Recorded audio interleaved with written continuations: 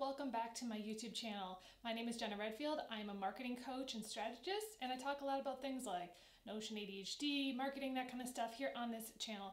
And today I'm going to be talking about how I actually plan social media content using two different apps, Notion and Canva. Now, both of these apps are free. I do pay for the Canva Pro just because I use it all the time, but I do pay nothing for Notion, so I'm on the free plan. I may move up to the paid plan at some point, but it does it has what I need. So today I'm gonna be sharing my content planning process, uh, the board that I use, and then also how I organize Canva to make content, as well as how to schedule it. Because here's the thing, Canva now has social media content scheduling. So you can schedule everything from Facebook, Twitter, Instagram, LinkedIn, Pinterest, everything that you need can be scheduled from Canva. And they recently added video editing. Now I don't edit a ton in Canva because I am a professional video editor. I went to film school, so I know a ton about video editing and I use Final Cut Pro 10. So that is another app that I use for like videos like this. Um, but it is great if you're making like a reel or something quick um, and you want to use Canva. It's great for transitions. I've also used it for uh, presentations. I've made presentations in Canva for my webinars, uh, for my online courses, which you can check out down below. Uh, but yeah, there's definitely so much you can do in Canva. Canva is definitely one of my top five favorite tools. I also use some other tools like Otter for transcriptions, which I'll talk about. I also use other apps for editing uh, my videos like InShot. I use things like Tezza for my uh, photo editing, but for the most part, I would say Canva and Notion are the only two apps I use to actually make content uh, that is mostly for photo, uh, you know, Instagram posts, Pinterest, that kind of stuff. Those are the only two apps that I use. So I'm gonna show you guys how I plan out my content. This is an updated video from when I did a couple months ago. My system has completely changed, so kind of disregard that video. Uh, I don't use that template or that way of planning anymore, so this is the new version and it's a lot better and more improved. So let's get to it. Oh, and make sure to subscribe for more videos. I'm definitely gonna be doing a ton more Notion stuff because I found that that's like one of my favorite videos to film and I freaking love Notion. So let's just get, let's just get started. Okay, so this is where I start when it comes to my Notion board. Now, this is my content creation pipeline. This is actually a combo of two different templates, one from notionthings.com and the other from August Bradley. I've also made it part of one of my pillars, so you'll see that that's how it goes back on the top, right up here. Um, but also, I've tagged my knowledge vault, so it actually links to different things inside of there. Also, my projects database, um, and then also some goal outcomes. So that's all it connects to. If you click on any of those, it'll go to those pages. Now, this part here is from the Notion Things template for the, uh, which I'll link below. Uh, but you'll see over on the left here, we've got the inbox. So that is going to be where I pin any content from Google Chrome. So I have the Notion Chrome extension that you can get. So if you're on a website and you're like, oh, I need to save this, that goes in this inbox here. I've just started using this, so I don't have much in there yet. Content, I actually have stuff in there. Let's see what I have in there. Um, that's just my content production pipeline. So this is all the stuff that I've created, all of my past content. In here, I have asset library. I haven't updated this yet, but eventually I'm going to add all of my colors, brand fonts, that kind of stuff, all the stuff I need. If I were, were to have sponsors, I could have a sort of template. I literally just use the template that they have. I don't haven't added anything. I don't really have a lot of sponsors. It's just not how my business works. And then I've got the archive. So these are things that I don't currently have created, but I did create in the past, but they're not live. Then I've got um, actions. So this kind of links over to here, this action items database, which um, I can talk about. But if you click on that, it literally shows me all the stuff that I'm working on. And then the last thing is the publishing calendar. So this actually links back to my main database. This is a linked database to what is currently being scheduled. So let me kind of break it down a little bit. So I also just have some links to some of the projects, quick links, and then the action items database. So within this template, I actually have two different databases that I am linking from. So my action items database is the actual to-do list that I have. I actually have it over here in my action zone. So you'll see that um, right here, I've got the today, I've got all, basically this is my like to-do list. My to-do list, it's in a database. I have all these different things. I have the due date, the date that I need to do it, all this stuff. But what I've done on the content creation template is that I filtered it so that it's only action items that have to do with writing, researching, creating, editing, designing, publishing, etc. these also link to the pieces of content. So down here, I have a bunch of different things. So basically, when it comes to, so if I have an idea for a piece of content, say like I'm like, I want to make a YouTube video or I want to make a podcast episode. I can either put it in the general content where I can literally just be like, all right, so this is filtered, so it's only potential ideas. So if I don't know if I want it to be a YouTube video, a podcast, an Instagram post, I could just say, um, let's talk about uh, authenticity, which is actually something I do want to talk about. What I can do is I can drag and drop. So if I decide I want to do a podcast with that, I can move it here, and that's a potential podcast idea. So let me just show you what happens. So because it's filtered now, if I go into podcast ideas, you will now see that we have, um, where did that go? Potential ideas, it should be here now, authenticity. So this is actually filtered differently. This is actually filtered by the channel. So this is filtered to only have podcasts, but it's every state, right? It's the potential ideas, who I've reached out to, what I'm working on, ready to post, etc. So this is actually grouped by, if you go to group, it's actually grouped by status. And they've just changed all of this, which is really cool. If you haven't noticed that there's a new grouping feature on Notion, I'm really loving it and I'm super excited about it.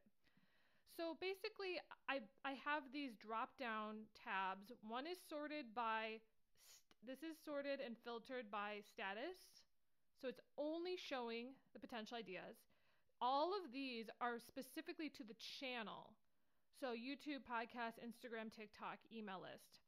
This is my general pipeline for everything. So it shows um, YouTube blog posts, you know, podcasts. It shows everything and where they are at in the stages.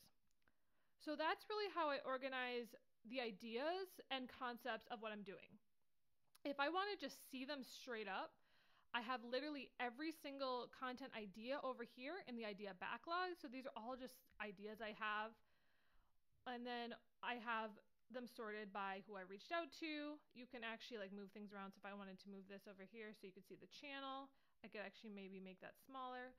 There's a way to see like, okay, what am I reaching out to? What am I working on? So actually this video right now is being produced. And so I literally put that as next up slash working on putting it on YouTube blog. I could even put, so if I wanted to publish this today, so I'm filming this on the 21st, I could put that today. Um, I also like to sort it by month, so I would do 1021. I could also decide the topic. So the topic is Notion. Um, let's see. Uh, and then I've got, you know, when, when it's done, I will post the URL to the YouTube video. I can add all of these things. A lot of these are for my podcast. So like if there's a transcript, um, you know, somebody's Instagram link if they're a you know a guest name. So that so because all of my content lives in one database, I have to kind of cover all the bases. So some of these will not be filled out, but you'll see, um, you know, I've got the you know all of these. I don't have anything right now in the pipeline for any of these, but they're all empty. But they are sorted by again status, and they will pop up when you change the status because they're filtered databases. Now down here I have my publishing calendar. So this actually shows exactly what's being published when, what was published in the past. Again, I need to kind of update some of this. Some, sometimes I don't document everything. But what's cool is I also literally have every single post I've ever done. So like all of my old YouTube videos, I have them. And this is in the new group feature, which is super cool. So this is my published gallery, but you can also sort by if I just want to see YouTube videos, I can literally see all of those, right? If I wanted to just see podcasts, it literally shows me all of my old podcast episodes. So I have created separate, um, you know, so and I, have sorted it by year. So these are all of my different episodes I've done. I've I can sort it by Instagram posts. So Instagram posts from the past. I can sort it by you know blog posts. You know, I you can sort it however you want. If you want to do it, I sometimes like to do it where I see it by year you know, I can see how many blog posts I wrote in a year. You can see 2021, I haven't written that many. I have been focused on my blog. I've been focused on this YouTube channel. Um, but basically, this is really what, you know, how I look at past, future, present c- content and how I plan it out. So it allows me to see. So if I take an idea, if I want to do this authenticity one, I can later. Let me go back to podcast ideas. So if I were to go to this authenticity one and open it up, if I were to change that from potential idea to, let's say, um, scheduled, I want to show you exactly what happens. So that actually has now been scheduled here. So it like instantly changes to whatever status you are at. So again, these are all filtered from the same exact database. And if you guys um, want to watch my video on databases, I explain how to do that. But it's so helpful to you can just quickly change the status and it automatically moves it to the right part of the board. Now again, I got both of these two different things from one from August Bradley and the other from notionthings.com and I will leave the links below. But I really kind of made it my own. I combined two of the different ones and this is how I plan my content on Notion. Now I want to talk a little bit about how I organize Canva. So if I'm like, all right, I got my idea ready, I got to make it now. Let's move over to Canva and see what I do over there. Okay, so when I go over to Canva, I have everything very organized. I have my business projects, which include my website and one of the projects I do. I have all of my academy classes, my master class. I also have everything by event. So I've got the year. So I've pat. So for example, um, I've got you know past. Let me find an example. 2019. So if I had an event that I hosted, uh, I have all the pictures. So like my holiday party, I have all of that in there. So I have pictures. Everything is sorted by year by event. I also have, you know, my coaching clients, uh, specific clients, testimonials, everything. Over here in the content creation, this is probably one of my most used one. I kind of have different templates, things that I've made. The podcast is a huge one. So I've got the current podcast, headshots of all of my past clients, my studio where I record, so many things. Um, with my YouTube channel, I have all of my thumbnails, so I have sorted them by type. So if I'm making a Notion thumbnail, I have some of my previous designs, so I can quickly make a new template. So I literally have it all organized.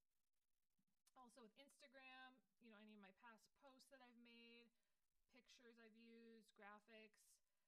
For reels, I have, you know, templates I've used for reels, so many different things, the covers.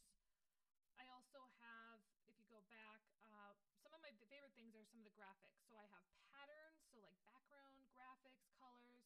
I've got GIFs, so I've got, got a Giphy thing with a bunch of GIFs in there. Um, let's see, what else do I have? I have logos and graphics of things. So logos of different, you know, project management tools I've used. So if I have YouTube, I've got different, you know, video things. I just have those available. One of my favorites is templates. These are templates I've purchased on Canva. So I have a ton of like Instagram templates that I've purchased, uh, workbooks that I've purchased. I have all my Funnel Gorgeous templates that they've given me, welcome packets. So these are all templates that I've purchased mostly from Creative Market also elements if I have, you know, these balloons. I've got things that, again, I've also downloaded or purchased. I have different wreaths, color wreaths, white wreaths. Uh, let's see, I've got paintbrushes. So these are all things that I have purchased. I sort them into graphics, um, also background colors, again, more textures, that kind of stuff. Uh, that's in graphics. And then in photos, I have more of my headshots. So these are all the headshots I've ever done. I sort them by the actual photo shoot. And then if I have any stock photos that I really like that I maybe didn't get on Canva. And then lastly, I've got just some personal stuff that I've used for myself. But basically, that's how I sort things. So if I were to create a new design, this is where I would find everything that I need. So another thing that you can set up on Canva is you can actually choose to schedule content. So if I wanted to, I could actually make find a new template. So if I wanted to, I could make a new, let's say it's an Instagram post. This is something I could actually go in and schedule to wherever. It could be, you know, LinkedIn, Twitter, Facebook, Instagram, my Facebook group, or Pinterest. Let's just do Instagram. I would write out the caption and then I would schedule the post. Um, I'm not going to because I don't want to post this, but basically, it will then show up. So let me, I wish, you know what, maybe I'll just schedule it for tomorrow. And then you can see it on my schedule and then I'll remove it. So testing. All right, schedule post. So I'm preparing the design. So this is really helpful. It only works with like individual videos, I believe. Um, and then you'll see it pop up there. So that is exactly how it works with Canva. Uh, again, I can go into more in depth on Canva, but I do have a video on how I schedule Instagrams with Canva, so you can watch that video as well. But that's kind of how I organize it. I also have starred certain folders that I use a lot. One is my YouTube thumbnail folder, and then the other is for my Instagram course uh, that I'm constantly updating and then obviously my podcast. So those are like the main folders that I have, you know, highlighted, but it's really important to be organized within Canva. Eh, I have actually organized it by August Bradley's pillar system, so that's something that I did as well. So hope this was helpful. Uh, this kind of walks through my entire creation process when it comes to creating my own content, especially if it's more of a graphic. Obviously, I do other things for Reels, YouTube, that stuff, obviously making the podcast, and I can definitely go through that as well. So let me know in the comments what you want to see, and I'll talk to you guys soon.